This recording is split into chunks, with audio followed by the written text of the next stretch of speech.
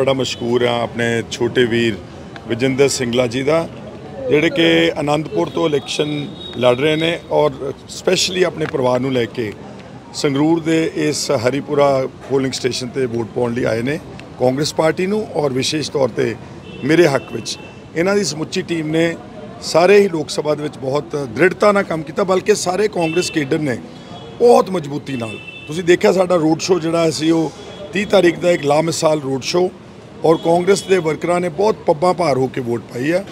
ਔਰ ਅੱਜ ਮੈਂ ਇੱਕ ਗੱਲ ਥੋੜੀ ਜਿਹੀ ਤੁਹਾਡੇ ਜ਼ਰੀਏ ਆਲਰੇਡੀ ਮੈਂ ਡੀਸੀ ਸੰਗਰੂਰ ਨਾਲ ਗੱਲ ਕਰ ਲਈ ਆ।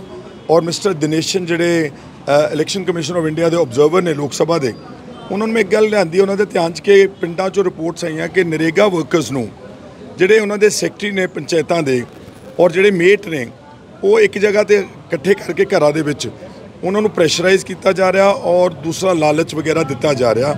ਤਾਂ ਉਹਨਾਂ ਨੇ ਮੈਨੂੰ ਯਕੀਨ ਦਿਵਾਇਆ ਕਿ ਅਸੀਂ ਇਹ ਸਾਰਾ ਫ੍ਰੀ ਐਂਡ ਫੇਅਰ ਇਲੈਕਸ਼ਨ ਕਰਾਉਣ ਦੀ ਪੂਰੀ ਕੋਸ਼ਿਸ਼ ਕਰਾਂਗੇ। ਇਸ ਇਸ ਕੰਪਲੇਂਟ ਤੋਂ ਇਲਾਵਾ ਪੋਲਿੰਗ ਸਮੂਥ ਚੱਲ ਰਹੀ ਹੈ ਔਰ ਸਾਨੂੰ ਪੂਰਨ ਆਸ ਹੈ ਕਿ ਜਿਵੇਂ ਸਿੰਗਲਾ ਸਾਹਿਬ ਨੇ ਕਿਹਾ ਕਿ ਅੱਜ ਦੇਸ਼ ਵਿੱਚ ਪਰਿਵਰਤਨ ਦੀ ਲਹਿਰ ਆ।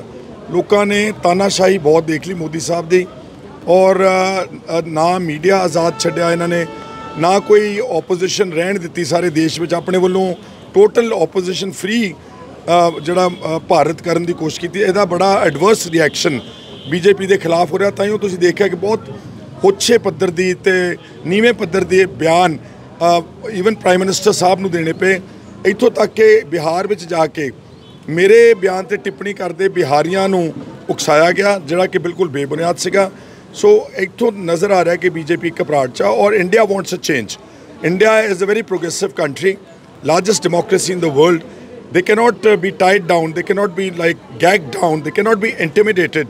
Uh, ਔਰ ਜਿਸ ਢੰਗ ਦੇ ਨਾਲ ਬੀਜੇਪੀ ਨੇ ਮੈਜੋਰਿਟੇਰੀਅਨ ਪੋਲਿਟਿਕਸ ਖੇਡੀ ਆ ਅੱਜ ਸੈਕੂਲਰ ਫੋਰਸਸ ਦੀ ਦੇਸ਼ ਵਿੱਚ ਪੱਕੇ ਤੌਰ ਤੇ ਉੱਤੇ 4 ਤਰੀਕ ਨੂੰ ਜਿੱਤ ਹੋਵੇਗਾ ਪੰਜਾਬ ਦੇ ਵਿੱਚ ਟੋਟਲ ਸਫਾਇਆ ਕਰਾਂਗੇ ਕਿਉਂਕਿ ਜੇ ਮ- ਮੋਦੀ ਤਾਨਾਸ਼ਾਹ ਹੈ ਤਾਂ ਭਗਵੰਤ ਤੇ ਕੇਜਰੀਵਾਲ ਵੀ ਘਟ ਨਹੀਂ ਗਏ ਇਹਨਾਂ ਨੇ ਉਹੀ ਹੱਥਕੰਡੇ ਅਪਣਾਏ ਆਪੋਜੀਸ਼ਨ ਨੂੰ ਡਰਾਉਣ ਧਮਕਾਉਣ ਦੇ ਪੁਲਿਸ ਦੇ ਥਰੂ ਜੋ ਮੋਦੀ ਸੀਬੀਆਈ ਤੇ ਈਡੀ ਦੇ ਥਰੂ ਕਰਦੇ ਸੀ ਉਸੇ ਤਰ੍ਹਾਂ ਹੀ ਮੀਡੀਆ ਨੂੰ ਗੈਗ ਕੀਤਾ ਸਾਡੇ ਅ, ਅਜੀਤ ਅਖਬਾਰ ਦੇ ਤੁਸੀਂ ਦੇਖਿਆ ਕਿ ਅੱਜ ਹਾਈ ਕੋਰਟ ਨੇ ਰਾਹਤ ਦਿੱਤੀ ਉਹਨਾਂ ਨੂੰ ਉਹਨਾਂ ਦੀ ਅਰੈਸਟ ਇਹ ਕੀਤੀ ਆ।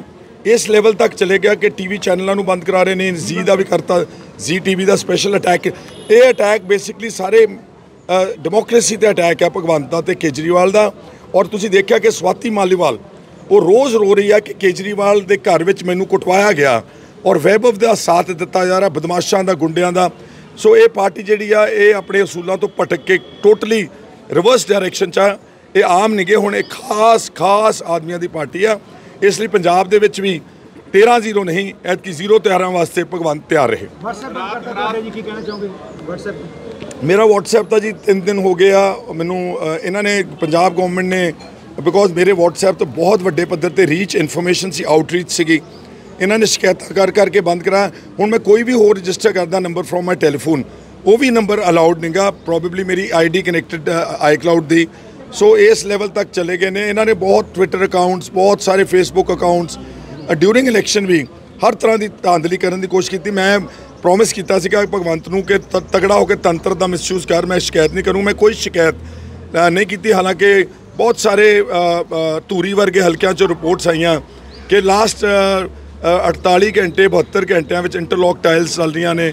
ਹੁਣ ਇਹਨਾਂ ਨੂੰ ਯਾਦ ਆਇਆ ਜਦੋਂ ਵੋਟ ਸਿਰ ਤੇ ਆ ਗਈ 2 ਸਾਲ ਇਹਨਾਂ ਨੇ ਇੱਕ ਇੱਟ ਨਹੀਂ ਲਾਈ ਸੰਗਰੂਰ ਹਲਕੇ ਦੇ ਵਿੱਚ ਨੀ ਪੱਥਰਾਂ ਦੇ ਨੀ ਪੱਥਰ ਖੜੇ ਰਹਿ ਗਏ ਜਦ ਕਿ ਕਾਂਗਰਸ ਦਾ ਮਗਰਲਾ ਕਾਰਜਕਾਲ ਜਿਹੜਾ ਸੀਗਾ, ਉਹਦੇ ਵਿੱਚ ਵਾਈਡ ਸਪਰੈਡ ਡਿਵੈਲਪਮੈਂਟ ਹੋਈ, ਬਹੁਤ ਸਾਰਾ ਪਿੰਡਾਂ 'ਚ ਗਿਆ, ਸ਼ਹਿਰਾਂ 'ਚ ਪੈਸਾ ਗਿਆ, ਬਹੁਤ ਸਾਰੇ ਪ੍ਰੋਜੈਕਟ ਵੱਡੇ ਪੀਜੀਆਈ ਦਾ, ਘਾਬਦਾਂ ਦਾ satellite hospital Tata cancer hospital ਔਰ ਜਿਹੜਾ ਰੋਡ ਨੈਟਵਰਕ ਸੀ, ਉਹਦਾ ਕਮਾਲ ਦਾ ਕ੍ਰੀਏਟ ਕੀਤਾ ਪਿਛਲੀ ਗਵਰਨਮੈਂਟ ਸਰਕਾਰ ਨੇ, ਔਰ ਵਿਜੇਂਦਰ ਸਿੰਗਲਾ ਜੀ ਨੇ। ਸੋ ਇਹਦਾ ਲੋਕਾਂ ਦੇ ਮਨ ਤੇ ਬਹੁਤ ਜ਼ਬਰਦਸਤ ਪ੍ਰਭਾਵ ਆ। ਲੋਕੀ ਸ਼ਾਇਦ ਇਹਨਾਂ ਦੇ ਸਾਹਮਣੇ ਤਾਂ ਨਾ ਬੋਲਣ ਪਰ ਬਟਨ ਦਬਾ ਕੇ ਇਹਨਾਂ ਦੀਆਂ ਚੀਕਾਂ ਜ਼ਰੂਰ ਕਢਾਉਣ। ਰਾਮਕੁਮਾਰ ਵਿਜੇ ਪ੍ਰਤਾਪ ਨੇ ਅਸਤੀਫਾ ਮੰਗਿਆ ਜੀ ਭਗਵੰਤ ਮਾਨ ਦਾ। ਪਰ- ਧੂਰੀ ਦੇ ਵਿੱਚ ਸ਼ਰਾਬ ਵੰਡੀ ਗਈ ਆਮ ਆਦਮੀ ਪਾਰਟੀ ਦੇ ਵਿੱਚ। ਕੱਲੀ ਸ਼ਰਾਬ ਨਹੀਂ ਮੈਂ ਤੁਹਾਨੂੰ ਦੱਸਿਆ ਕਿ ਇੰਟਰਲੌਕ ਟਾਈਲਾਂ ਜਿਹੜੀ ਬਸਤੀ ਵਿੱਚ ਜਿੱਥੇ ਜੋ ਚਾਹੀਦਾ ਸੀਗਾ ਇਹਨਾਂ ਦਾ ਓਐਸਡੀ ਜਿਹੜਾ ਓਂਕਾਰ ਸਿੰਘ ਉਹ ਪਰਸਨਲੀ ਜਾ ਕੇ ਈਵਨ ਇੱਥੋਂ ਤੱਕ ਕਿ ਚੀਫ ਮਿਨਿਸਟਰ ਦੀ ਘਰਵਾਲੀ ਉੱਥੇ ਤੁਰੀ ਫਿਰਦੀ ਦੀ ਦੁਗਨੀ ਪਿੰਡ 'ਚ। ਸਾਡੇ ਸਰਪੰਚਾਂ ਨੂੰ ਪੱਟੇ ਪਾ ਪਾ ਕੇ ਉਹਨਾਂ ਨੂੰ ਤਰੋੜਿਆ ਮਰੋੜਿਆ ਗਿਆ ਵਾ। ਪਰ ਮੈਂ ਸਮਝਦਾ ਕਿ ਜੋ ਮਰਜ਼ੀ ਕਰ ਲੈਣ, ਅੱਜ ਜਿਹੜਾ ਨਤੀਜਾ ਆਵੇਗਾ 4 ਤਰੀਕ ਨੂੰ, ਉਹ 100% ਦੀ ਕਾਂਗਰਸ ਪਾਰਟੀ ਦੇ ਹੱਕ ਵਿੱਚ ਆਵੇ ਕੁਛ ਨਹੀਂ, ਕਾਂਗਰਸ ਪਾਰਟੀ ਦੀ ਵੱਡੀ ਜਿੱਤ ਹੋਊਗੀ ਪੂਰੇ ਪੰਜਾਬ ਦੇ ਵਿੱਚ ਔਰ ਅੱਜ ਮੈਂ ਆਪਣੇ, ਆਪਣੀ ਵਾਈਫ ਨਾਲ ਆਪਣੇ ਸੰਗਰੂਰ ਦੇ ਵਿੱਚ ਵੋਟ ਪਾਉਣ ਵਾਸਤੇ ਆਇਆ ਹਾਂ ਖੈਰਾ ਸਾਹਿਬ ਵਾਸਤੇ, ਪਾਰਟੀ ਵਾਸਤੇ ਔਰ ਜੋ ਮਾਹੌਲ ਪੰਜਾਬ ਦਾ ਹੈ, ਉਸ ਤੋਂ ਤੁਸੀਂ ਦੇਖੋਗੇ ਕਿ ਆਉਣ ਵਾਲੀ 4 ਤਰੀਕ ਨੂੰ ਹਰ ਕੈਂਡੀਡੇਟ ਪੰਜਾਬ ਦਾ, ਕਾਂਗਰਸ ਪਾਰਟੀ ਦਾ ਜਿੱਤ ਕੇ ਵੱਡੀ ਲੀਡ ਨਾਲ ਬਾਹਰ ਆਊਗਾ। ਕਿਉਂਕਿ ਇਸ ਵਾਰ ਲੋਕਾਂ ਨੇ ਜੋ ਫਤਵਾ ਹੈ, ਉਹ ਸੂਬਾ ਸਰਕਾਰ ਦੀ ਪਿਛਲੇ ਸਵਾ ਦੋ ਸਾਲ ਦੀ ਜੋ ਨਾਕਾਮੀ ਰਹੀ ਹੈ, ਉਸ ਦੇ ਖਿਲਾਫ ਦੇਣਾ ਔਰ ਜੋ ਬੀਜੇਪੀ ਦੀ ਸਰਕਾਰ ਦੀ ਪਿਛਲੇ 10 ਸਾਲ ਦੀ ਸਰਕਾਰ ਦਿੱਲੀ 'ਚ ਰਹੀ ਹੈ, ਜਿਸ ਤਰੀਕੇ ਨਾਲ ਲੋਕਾਂ ਨੂੰ ਵੱਖ-ਵੱਖ ਮੁੱਦਿਆਂ ਦੇ ਉੱਪਰ ਤਕਲੀਫ ਹੋਈ ਹੈ, ਉਸ ਗੱਲ ਦੇ ਉੱਪਰ ਤੁਸੀਂ ਦੇਖੋਗੇ ਕਿ ਵੱਡਾ ਫਤਵਾ ਕਾਂਗਰਸ ਪਾਰਟੀ ਦੇ ਹੱਕ 'ਚ ਪੰਜਾਬ 'ਚ ਲੋਕਾਂ ਨੂੰ ਦੇਖਣ ਨੂੰ ਮਿਲੂਗਾ ਔਰ ਦਿੱਲੀ ਦੇ ਵਿੱਚ ਮਹਾਗਠਬੰਧਨ ਦੀ ਕਾਂਗਰਸ ਪਾਰਟੀ ਦੀ ਸਰਕਾਰ ਖੜੀ ਹੋਊਗੀ।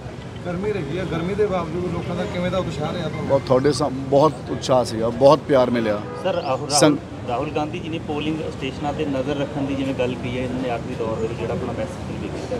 ਦੇਖੋ ਇਹ ਹਰ ਕਾਂਗਰਸ ਪਾਰਟੀ ਦਾ ਵਰਕਰ ਜਿਨੇ ਦੱਬ ਕੇ ਪਾਰਟੀ ਵਾਸਤੇ ਲੜਾਈ ਲੜੀ ਹੈ ਇੱਕ ਮਹੀਨਾ ਅੱਜ ਸਾਰੇ ਸਾਡੇ ਵਰਕਰ ਸਹਿਬਾਨ ਤੇ ਲੋਕ ਜਿਨ੍ਹਾਂ ਦਾ ਰੁਝਾਨ ਕਾਂਗਰਸ ਪਾਰਟੀ ਪੱਖ- ਹੈ ਅੱਜ ਸਾਡੇ ਸਾਰੇ ਵਰਕਰ ਸਹਿਬਾਨ ਬੂਥ ਦੇ ਉੱਪਰ ਅਖੀਰਲੇ ਦਮ ਤੱਕ ਲੜਾਈ ਲੜਨਗੇ, ਅੰਦਰ ਵੀ ਤੇ ਬਾਹਰ ਵੀ, ਤਾਂ ਕਿ ਵੱਧ ਤੋਂ ਵੱਧ ਪੋਲਿੰਗ ਹੋ ਸਕੇ। ਤੁਸੀਂ ਦੇਖੋ ਭਾਵੇਂ ਉਰੇ ਗਰਮੀ ਹੈ, ਕਿਵੇਂ ਪੋਲਿੰਗ ਸਟੇਸ਼ਨ ਭਰੇ ਪਏ ਹੈ ਔਰ ਸਾਡੇ ਪੋਲਿੰਗ ਬੂਥ ਬਾਹਰਲੇ ਭਰੇ ਪਏ ਹੈ, ਇਸ ਤੋਂ ਪਤਾ ਲੱਗਦਾ ਕਿ ਲੋਕ ਅੱਜ ਸਰਕਾਰਾਂ ਨੂੰ ਸੁਨੇਹਾ ਦੇਣਾ ਚਾਹੁੰਦੇ ਹੈ।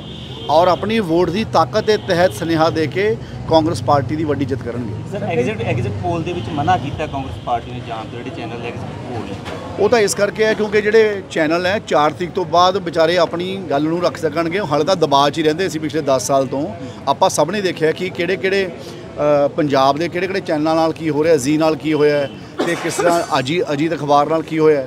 ਤੋ ਇਸ ਕਰਕੇ ਸਰਕਾਰਾਂ ਨੇ ਲੋਕਾਂ ਦੀ ਲੋਕਤੰਤਰ ਦਾ ਘਾਣ ਕਰਨ ਵਾਸਤੇ ਜ਼ੁਬਾਨ ਨੂੰ ਬੰਦ ਕਰਨ ਦੀ ਗੱਲ ਕੀਤੀ ਹੈ। ਇਸੇ ਕਰਕੇ ਤੁਸੀਂ ਦੇਖੋਗੇ ਜਿਹੜਾ ਸੰਵਿਧਾਨ ਨੂੰ ਬਚਾਉਣ ਵਾਸਤੇ ਅੱਜ ਟੀਚਾ ਪੂਰੇ ਹਿੰਦੁਸਤਾਨ 'ਚ ਚੱਲਿਆ ਹੈ। ਇਸ ਇਸ ਸੰਵਿਧਾਨ ਜੋ ਸਾਨੂੰ ਦੇਸ਼ ਨੂੰ ਮਿਲਿਆ, ਇਹ ਸਾਡੀ ਲੋਕਾਂ ਦੀ ਆਜ਼ਾਦੀ ਦੇ ਵਿੱਚ ਜੋ ਕੁਰਬਾਨੀਆਂ ਤੇ ਸ਼ਹਾਦਤਾਂ ਰਹੀਆਂ, ਉਹਦੇ ਕਰਕੇ ਮਿਲਿਆ ਸੀ। ਤੇ ਅੱਜ ਸੰਵਿਧਾਨ ਹੀ ਖਤਰੇ 'ਚ ਹੋ ਗਿਆ ਹੈ। ਤੇ ਅੱਜ ਸਾਰਾ ਦੇਸ਼ ਸੰਵਿਧਾਨ ਨੂੰ ਬਚਾਉਣ ਵਾਸਤੇ ਖੜਾ ਹੈ।